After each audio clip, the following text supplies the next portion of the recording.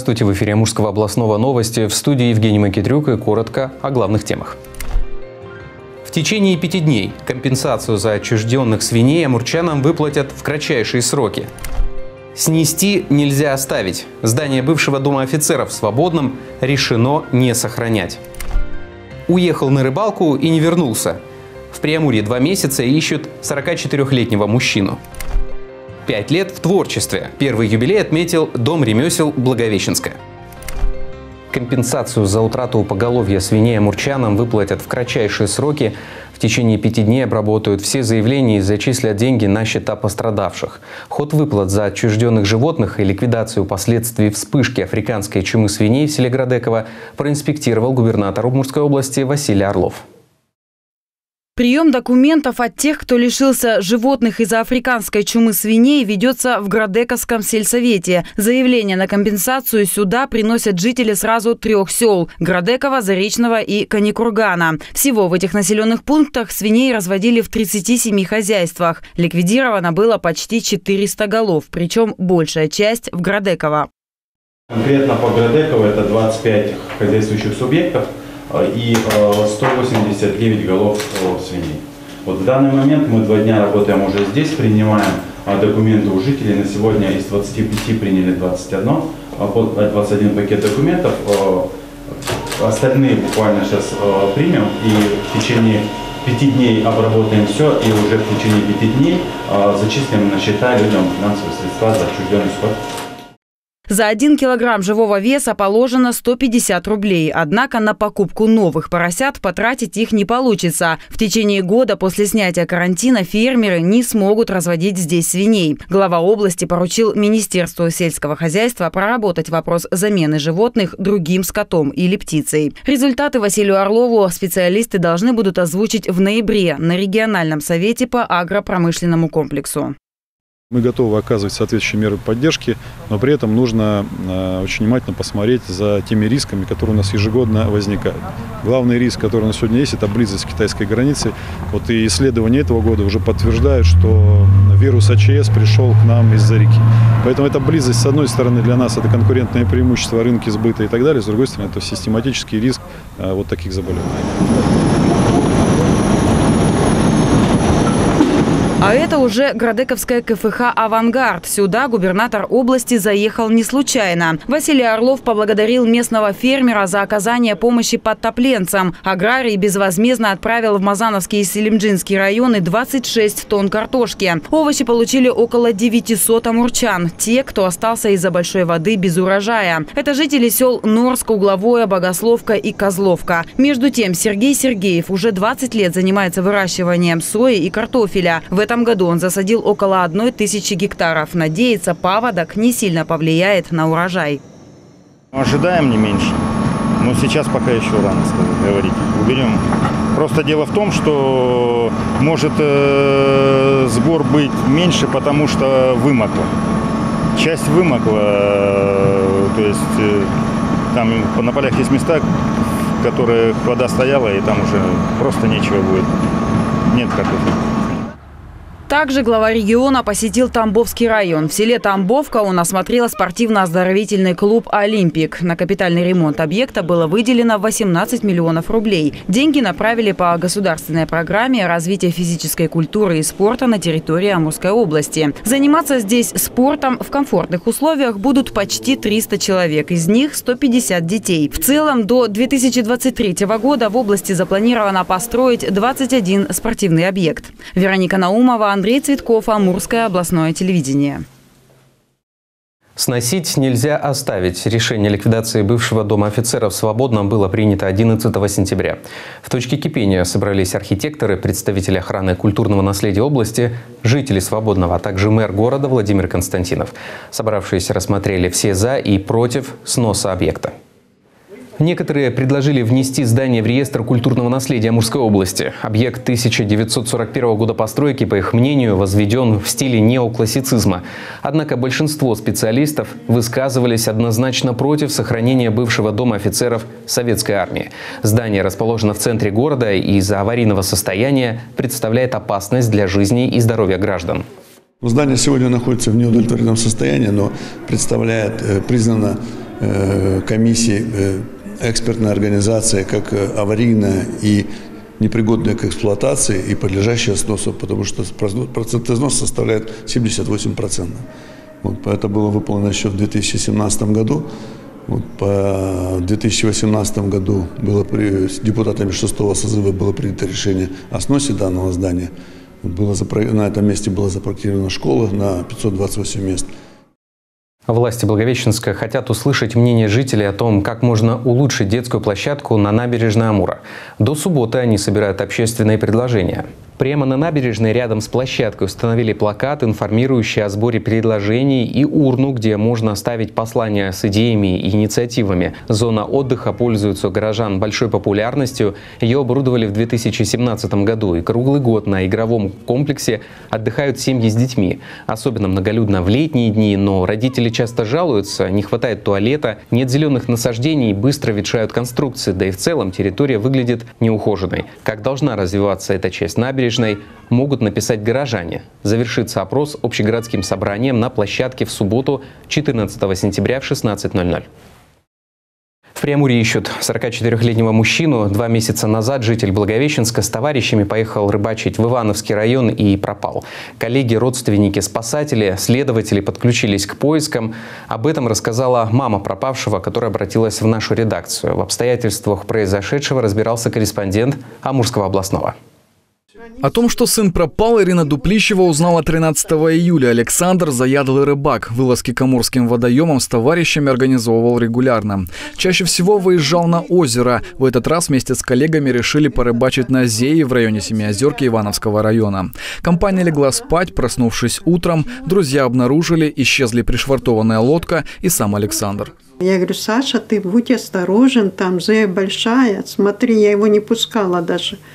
Ага, а он, нет, мама, поеду, ничего не случится. Я в 12 еще звонила, он мне отвечал, и все, мама, я выключаю телефон, и это, ты отдыхай. Ничего не случится. Я говорю, смотри, будь осторожен с Богом, еще так сказала ему. Ага. И потом все отключился, и больше всего. Уже в течение двух месяцев Ирина Алексеевна не отходит от телефона, звонит спасателям, в полицию, следователям. В то, что Александр попал в беду по своей вине, она верить отказывается. Рассказывает он человек ответственный. Прилежно учился в школе, закончил речное училище, служил в армии. На хорошем счету среди коллег. Уже 20 лет проработал на Благовещенской ТЭЦ. Примерный семьянин и помощник родителей. Александр женат, у него двое детей. И он сдавал всегда вот эти вот проверки, там за вперед проверки, на одни пятерки. Он от, всегда я его спрашиваю, Саша сдал, он сдал. Он даже ночью не спал всегда, чтобы сдать всегда mm-hmm. вот такой. Он очень ответственный. Он говорит, он такой ответственный, и еще и в местном комитете, председатель местного комитета. В день пропажи к поискам подключились спасатели областного поискового отряда. Дмитрий Кулагин участвовал в поисках, лично нырял в Зею. Рассказывает, точное место пропажи Александра очевидцы указать не смогли. В итоге спасатели обследовали около километра по береговой линии в 10-15 метрах от берега, на глубине от 2 до 5 метров. Поиск результатов не дал. Я был под водой в тот день. Э, видимость до 5 сантиметров в местах. Вода прибывала, вода была очень мутная. Течение было большое, больше метров в секунду. Видимость была очень плохая. Работали на ощупь. Вот так вот я вам скажу. Ну, работали около, около часа водолаз находился под водой. Что конкретно случилось, выясняют следователи. По словам рыбаков, отдыхающих на соседнем острове, ночью они слышали, как работал лодочный мотор. Однако водителя лодки они не видели. В Следственном комитете отметили, пропавшего искали с помощью спецоборудования, с помощью глубоководной камеры. Берег и акваторию Зея осмотрели даже с воздуха, запустили беспилотник. Была обследована местность, русло реки и э, прилегающей территории. В ходе поисковых мероприятий лодка была обнаружена в километре ниже по течению от места расположения вот этой группы э, людей. Э, нами был зарегистрирован материал проверки, и Следственный отдел по Ивановскому району сейчас э, проводит проверочные мероприятия. С момента исчезновения Александра уже прошло почти два месяца. Поиски продолжатся, пока мужчина не будет найден. Следователи проводят проверку по факту пропажи. Ирина Алексеевна все же верит в чудо, надеется, сына найдут живым. Может, чудо какое-то, кто-то там его нашел, может быть, его спасают, где-то он, может, память потерял. Если кто-то владеет информацией о месте нахождения Александра, просят связаться по номеру телефона. Его вы видите на экране. Денис Сверденко, Роман Юдаков, Амурское областное телевидение. Ольга Юркова, бывший министр культуры Амурской области, теперь работает в Министерстве культуры России. Она возглавила Департамент регионального развития и приоритетных проектов. Из Амурской области она уехала на днях и уже приступила к работе в федеральном ведомстве. В своем аккаунте Инстаграм она разместила видео, как едет на новую работу. Кстати, незадолго до отъезда она дала интервью журналисту Амурского областного Ростиславу Азизову и призналась, что такие предложения поступают редко. Конечно, мне не все равно, что здесь будет. Я очень переживаю за все свои учреждения, очень переживаю за те ремонты, за те стройки, которые идут. Но надеюсь, что команда все-таки сплоченная, что они смогут э, пойти тем курсом, которые идут, и все-таки быть всегда на высоте, и чтобы все-таки Амурской областью, Амурской культурой гордился и Дальний Восток, и вся Россия. А я знаю, что на сегодняшний день несколько кандидатур представлено а, Василию Александровичу Орлову. Конечно, это будет его решение, это команда губернатора.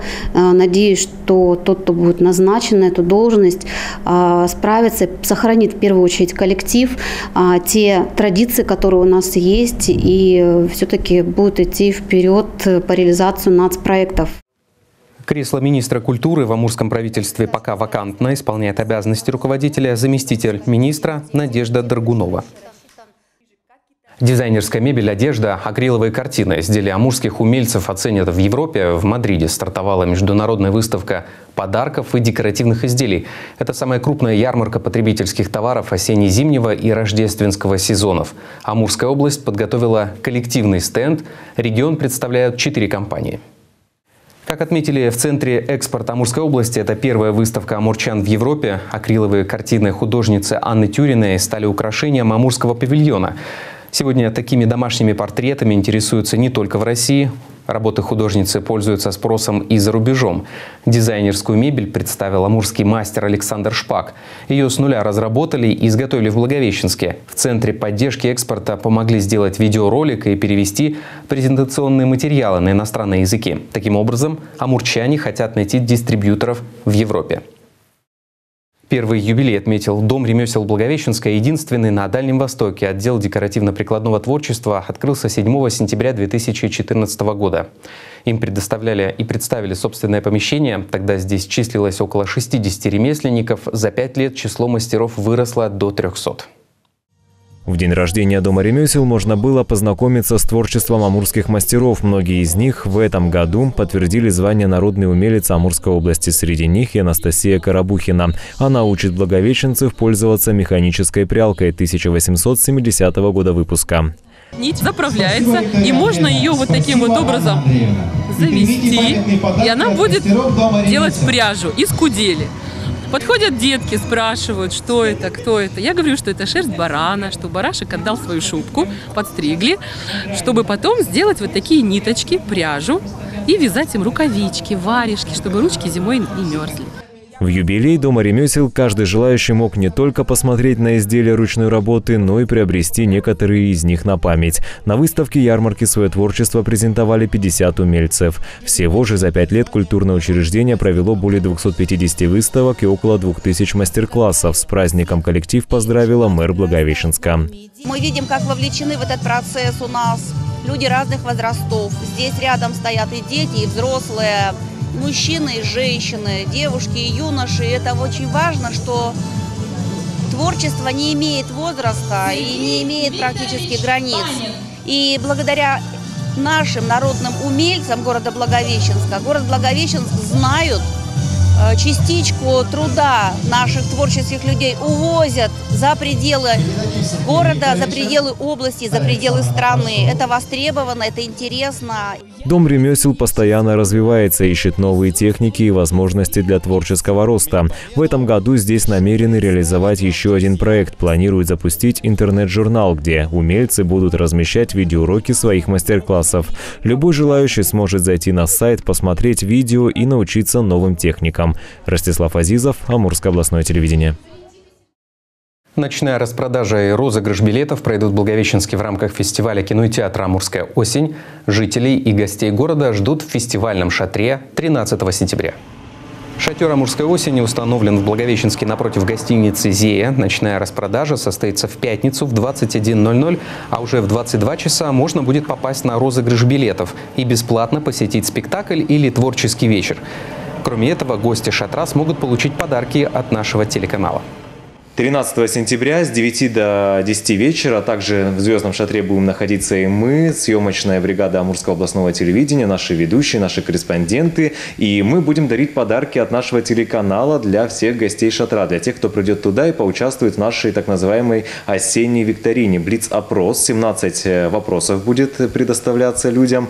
И если они ответят на все 17, они получают наш главный приз. Если на 10 вопросов, это приз чуть-чуть поменьше. Ну а если если на 7, тоже поощрительный приз от нашего телеканала. Конечно же, вопросы будут касаться Амурской осени, знания фестиваля и несколько вопросов будет о нашем телеканале. На этом выпуск завершен. Напомню, о развитии событий вы всегда можете узнать на нашем сайте amurobl.tv. Подписывайтесь на инстаграм-аккаунт Амурского областного. Я на этом с вами прощаюсь. Всего хорошего и до встречи.